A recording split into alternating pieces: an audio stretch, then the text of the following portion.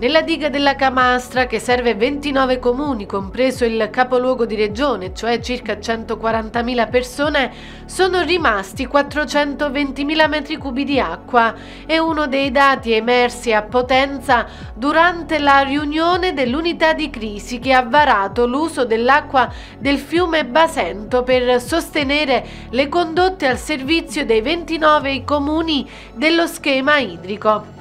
Bardi, in una nota dell'ufficio stampa della giunta regionale, ha spiegato che si sta facendo il possibile per fronteggiare un'emergenza che non ha precedenti nella storia della Basilicata, mettendo in campo soluzioni tecniche, frutto di studi e valutazioni di professionisti del settore. Il presidente della regione e commissario all'emergenza ha sottolineato che nessuna istituzione espone a rischi la salute dei cittadini. È suo compito proteggere la popolazione attraverso una serie di politiche mirate.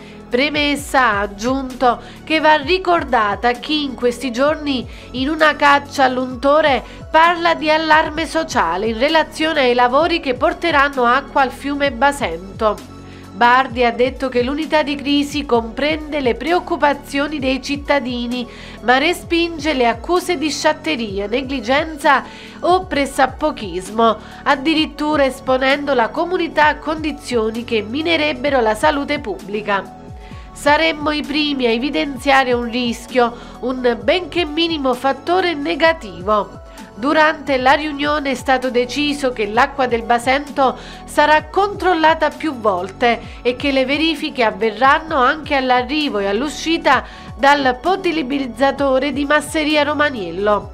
Venerdì a Potenza, durante una riunione in programma in prefettura, sarà varato un sistema di vigilanza costante lungo tutto il Basento per evitare e sanzionare scarichi abusivi.